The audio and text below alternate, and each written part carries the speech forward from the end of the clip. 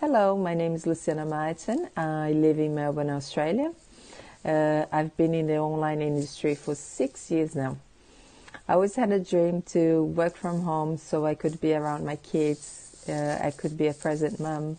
I could my I could see my kids grow, and that's why I started my online business.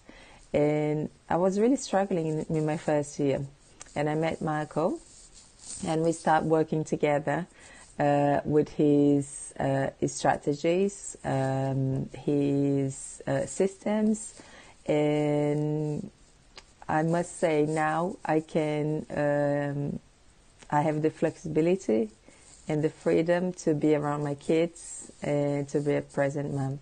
So for that, Michael, thank you so much and take care.